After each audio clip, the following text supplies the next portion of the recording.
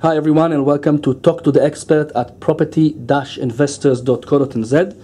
Today we have with us Anne Needham from Rennie & Cox Urban Legal in Auckland. They also have a new office now in Devonport on the North Shore. Anne is a legal senior executive specializing in residential property investment and residential property as well uh, over 30 years. She is also a justice of the peace in New Zealand. Welcome to this interview Anne. Thank you, Hida. We would like to talk to you today about uh, the process of purchasing a property in New Zealand and uh, what uh, due diligence should the purchaser cover within the time frame.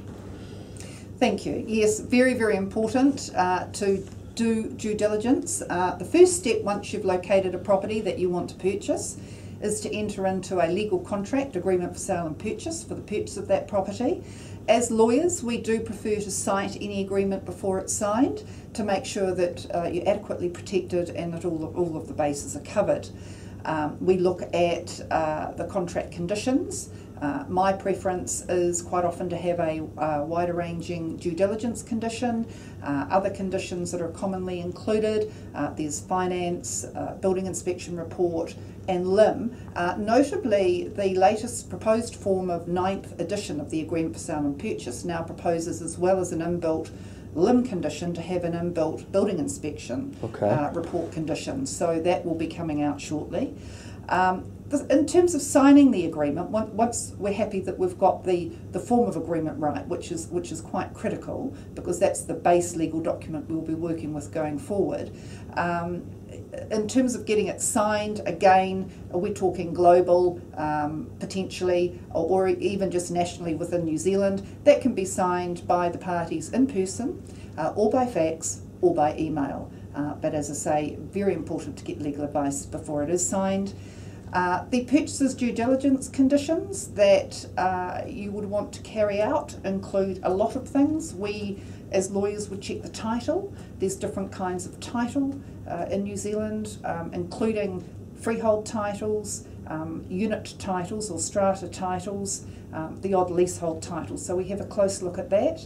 Uh, finance approval, make sure that you've got the um, level of finance you need on, uh, for a purchaser um, and on terms and conditions that are acceptable to a purchaser. And I am talking in terms of um, purchasers' conditions mostly at the moment.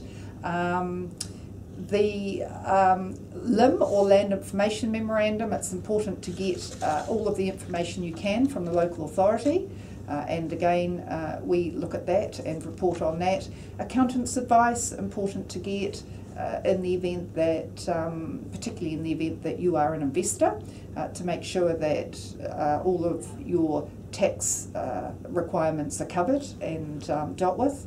Building inspection report, as I've mentioned, and also if you're planning on renovating, you would need to get quotes uh, for uh, what it was going to cost you to renovate that property, and also be sure that you had access to the property in between uh, what's called unconditional settlement if you needed it to be able to do um, renovations if that's what you required. Yes, it is also recommended, if possible, uh, to obtain a copy of the property file, which uh, here in Auckland, um, in various other parts of New Zealand, you can uh, purchase it online and uh, you can receive it on a, on a CD, on a disc. Um, Sometimes there's uh, all an information there, which plans, floor plans, and various things, which uh, could be helpful if you uh, want to obtain as much information as possible, like building consents in details and various things which are very important. Um, I'd like to add that um, when you when a purchaser uh, uh, prior to deciding uh, which entity or private prior to forming the entity um, th- this is obviously a, a different uh, area with more uh, to do with uh, an accountant if there's GST component involved there's always an option to put a purchaser's name and or nominee which is something that will give you some flexibility prior to settlement to decide which legal entity will be the end ownership Thank you, Anne. Thank you for this great interview. Thank you very much.